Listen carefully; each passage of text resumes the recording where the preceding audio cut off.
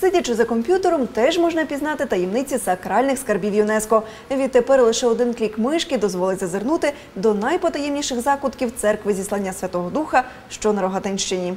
Таку віртуальну екскурсію при Карпатському храмові створили працівники столичного вебсайту. Днями вони приїздили до Святодухівської церкви та вирішили ту стародавню красу, що самі побачили, й іншим треба показати. Адже сакральна пам'ятка, яка нещодавно поповнила світову архітектурну спадщину, нині належить до найцінніших споруд України. І не дарма її без жодного цвяха звели ще понад чотири сотні років тому. Сьогодні таких храмів уже не будують. Тут унікальне геть усе – і стіни, і розписи, і справжня перлина – бароковий іконостас. Відтепер їх споглядання доступне і віртуальному туристові. А щоб оглядини були ще цікавішими, їх доповнили аудіоісторією. Щоб знайти дерев'яну церкву Святого Духа, потрібно спуститися вузенькою вуличкою повз храм Різдва Пресвятої Богородиці. На невеликому пагорбі за річкою, віддалік міського шуму, стоїть старовинний храм, обнесений дерев'яним муром. У ногу з часом та користю для справи. Місцеві музейники такому презенту неабияк радіють. Мовляв, тепер туристів у них лише побільшає. Тут не є питання в тому, що от віртуальна екскурсія,